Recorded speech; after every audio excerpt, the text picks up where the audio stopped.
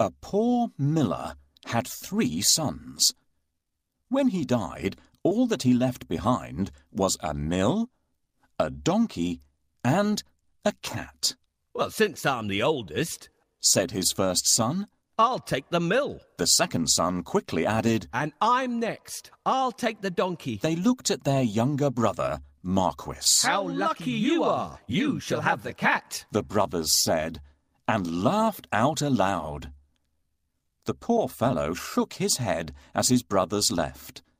It was not fair at all. My brothers can make a fine living with a mill and a donkey, but what about me? I'm stuck with Puss, said Marquis, wringing his hands in despair. Puss had been listening. He stretched and yawned loudly.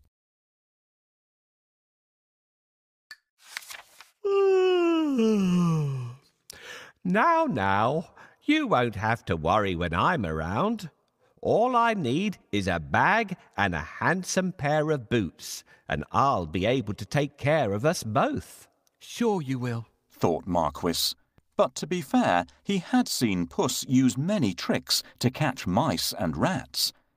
If nothing else, they wouldn't go hungry. Our father left us some property in his will. I can't help thinking that it's been divided unfairly.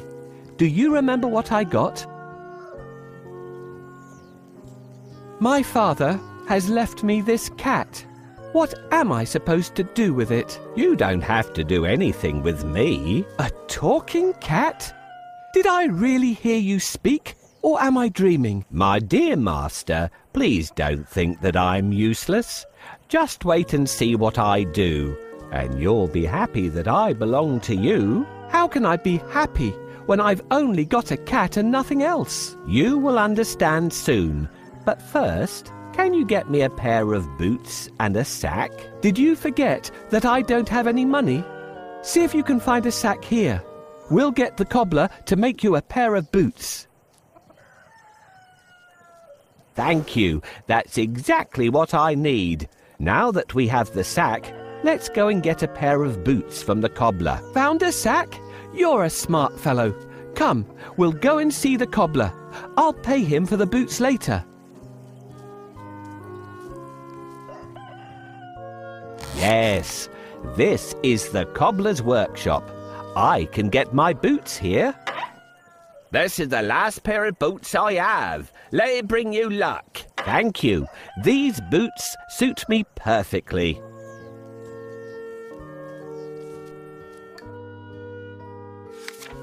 Soon the cat was given his own pair of boots and the new bag that he had asked for. The boots fitted him perfectly, and he looked very smart. Puss packed a juicy cabbage and some bran in the bag, and slung it around his neck. He polished his whiskers and set out. Puss headed straight to a spot where there were plenty of rabbits. He had a great plan in mind. Puss opened the bag wide and hid behind a tree. Soon a rabbit came hopping by. He saw the cabbage and leapt straight into the bag. Whoosh! As quick as the wind, Puss grabbed the bag and tied it closed with a piece of string. With the rabbit in his bag, Puss walked straight over to the king's palace he bowed low and presented him with the rabbit. Your Majesty, said Puss in Boots in a royal voice. This humble gift comes from my master, Lord Marquis of Carabas. This was a fancy name that Puss had chosen for his master. What a thoughtful gift, said the king, who loved roasted rabbit. The next time, Puss managed to catch a brace of partridges and took them once again to the king. This is wonderful. Tell your master I'm very pleased, said the king, who loved partridge stew even more. This went on for two months. Puss was becoming an expert at catching game, and the king was getting plumper.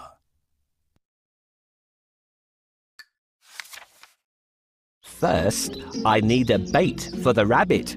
What do you think rabbits love to eat?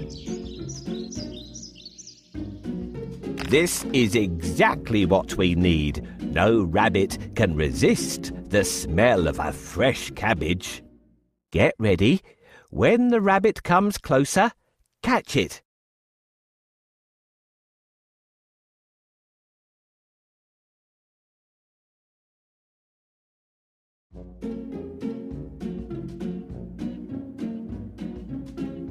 Got you. Thanks for your help. I will take this rabbit to the castle and offer it to the king. Puss knew a lot of things. He was such a clever cat. For instance, he knew just when and where the king would be out riding in his carriage with his daughter. I think that the Marquis and I should go out for a walk today, thought Puss one sunny Saturday. Puss took Marquis down to the riverside and spoke to his master. Today could be your lucky day. If things go to plan, you'll make a fortune, said Puss. Clip clop, cling clang. Puss heard the sound of a carriage approaching. They both looked into the distance. It was the king's carriage. What should I do? Marquis asked, ready to obey. He had grown happier with the food Puss brought in every day. Go and bathe in the river. I'll take care of everything else, said Puss. Is that all? cried Marquis. He pulled off his clothes and jumped into the river at once. Splash! Quickly, Puss hid his master's clothes behind a rock. Help! My master is drowning! Somebody save him! Puss wailed. He was trembling from head to foot. The king recognized Puss at once. He remembered all the lovely meals he had enjoyed thanks to the cat. The king jumped out of his carriage. Go and save him, quickly, the king said to his servants.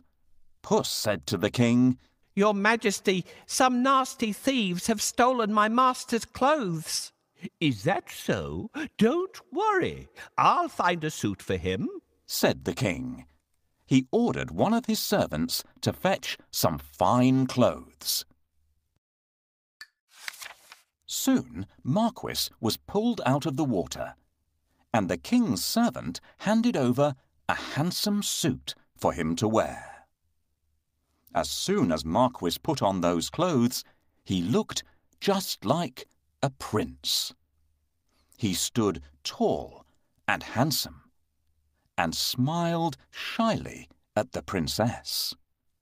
Surprise, surprise, the princess fell head over heels in love with Marquis. Master, I have a great idea. All you need to do is go and bathe in the river. I will take care of the rest. Well, all right. That's easy. While he's bathing, I need to hide his clothes. Can you think of a good place to hide them?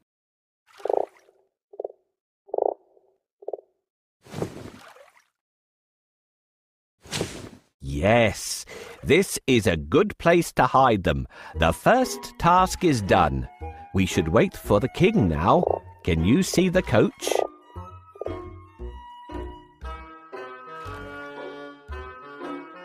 Your Majesty, please help!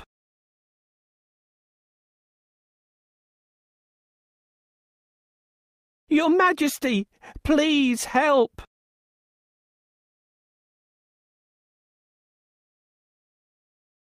Hurry up!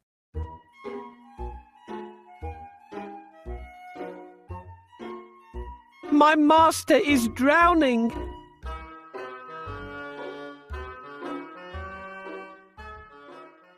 Hurry up!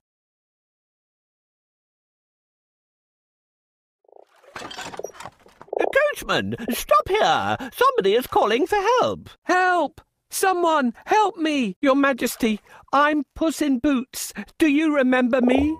My master decided to bathe. He went into a deep place, but unfortunately, he can't swim out of it. Ah, I remember you. It's you who brought me the presents, right? Wait, we'll save your master. Oh, thank you. Please save the Marquis of Carabas.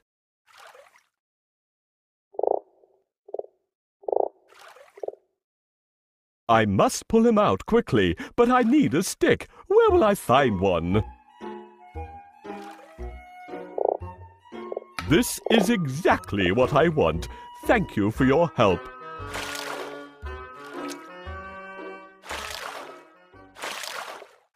Here you are, dear Marquis of Carabas, safe on land again. Your Majesty, while my master was swimming, his wonderful suit has been stolen. Now he has no clothes to wear. I'll order one of the best suits to be sent from the royal cloakroom for your master. Thank you for your help.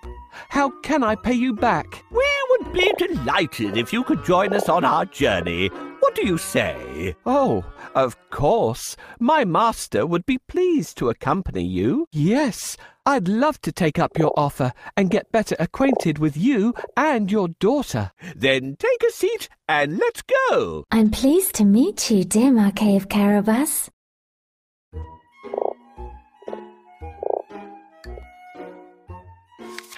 Puss grinned. Things were going just as he had planned. But he had more work to do. If you will excuse me, I'll go and make suitable arrangements to receive our king at the castle. Puss said. Marquis was puzzled because he didn't live in a castle. But he kept quiet. Puss ran ahead and met some men mowing the fields. My good fellows, stop your work and listen. The king is coming this way, and you are all in grave trouble. The only way to save yourselves is to say that these fields belong to the Lord Marquis of Carabas. Puss announced. The mowers looked at Puss in surprise. They were scared. This Lord Marquis must be very powerful, they thought. They agreed to do exactly what the cat said, to save themselves. Puss went ahead and saw some men and women reaping grain in a field. My good fellows, you can reap later, but listen to me now. The king is coming this way, and he'll make mincemeat of you unless you say that these fields belong to the Lord Marquis of Carabas. Puss announced. The reapers were very puzzled, but they definitely did not want to become mincemeat. They promised to tell the king that the fields belonged to nobody but Lord Marquis of Carabas. Puss went ahead and warned everybody to tell the king that the land belonged to Lord Marquis. The people thought that it wouldn't be right to mess with Lord Marquis. They decided to do exactly what the cat asked. But Puss had still more work to do. Huff, puff. He ran all the way until he reached a huge castle. Can you guess whose castle it was? Yes, the castle and all the lands belonged to a fierce and powerful ogre. But Puss was not scared of the ogre. He knocked at the castle door. Blim, blam. Two guards opened the door. I'd like to pay my respects to your mighty master, said Puss. The guards knew that the ogre loved anybody who admired him. So they let Puss in at once. Puss bowed low to the ogre. I have heard much about your great powers. Is it really true that you can transform yourself into any animal you wish? asked Puss. Even a lion? Watch me, said the ogre. Right before Puss's eyes, he transformed himself into a mighty lion. He roared so fiercely that Puss sprang up the curtains in fright. The ogre laughed loudly. That's amazing, said Puss. But I bet you can't turn yourself into a small creature. That's the most difficult thing in the world. I can, said the ogre. No, no, it would be impossible for a mighty ogre to turn into something like, uh, for instance, uh, a mouse? said Puss. Oh, really? asked the ogre, snapping his fingers. Boom! The ogre became a tiny mouse and scurried across the room. Quick as lightning, Puss pounced on the mouse and ate it in one gulp.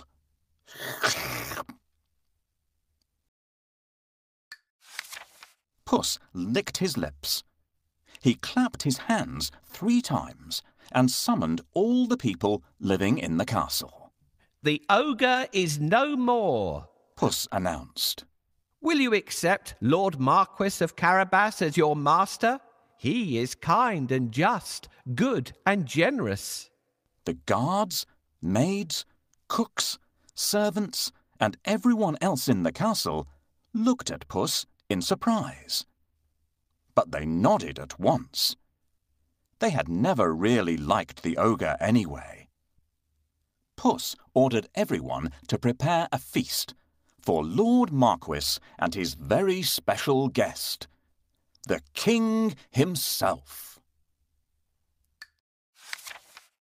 The coach with the king, the princess, and my master will be here soon. I have to wake up the ogre right away.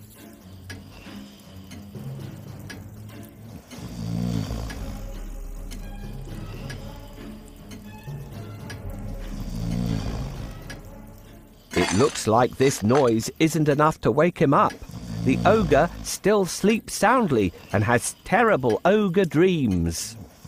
I don't think we would wake him up this way. Let's try something else.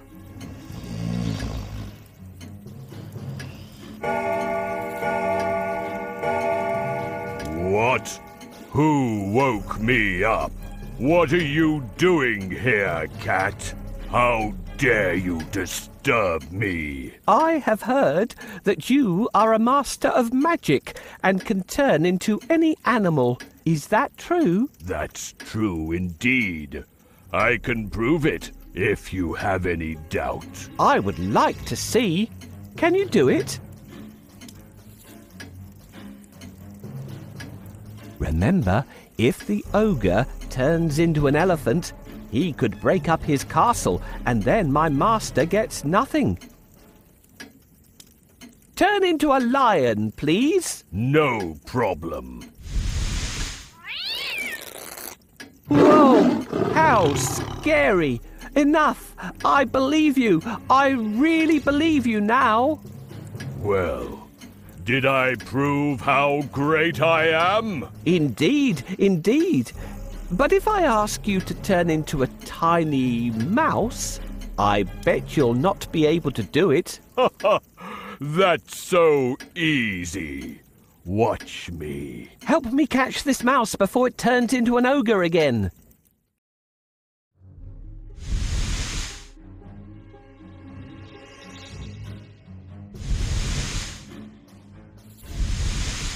You can't hide from me. Here I come. Hooray! Now my master owns this castle. I'm smart and handsome. I'm the one and only Puss in Boots. Meanwhile, the king travelled through the countryside, speaking to the people. He was very surprised to learn that almost all the land around him belonged to the young man by his side. When the king's coach finally reached the castle, Puss ran out to welcome them. Welcome to our humble abode, Puss said to the king. The king gulped. The castle was bigger and even more stunning than his own. Puss led them straight to the huge dining hall.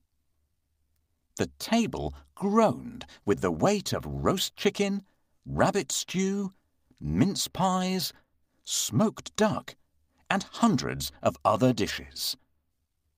The king was in seventh heaven. After eating the great feast and sipping the finest wine he had ever tasted, the king said, My dear Lord Marquis, I'd be delighted if you would marry my only daughter. Marquis smiled at the princess. I will if the princess wishes to live with me, said Marquis shyly. The princess was so happy that she wanted to dance all around the castle. She blushed in delight and nodded. They married and lived happily ever after. And so did Puss, because loyal Marquis made him a lord of the castle. Puss enjoyed great feasts every day, and did not go after rats or mice any more, except now and then, when he wanted some fun.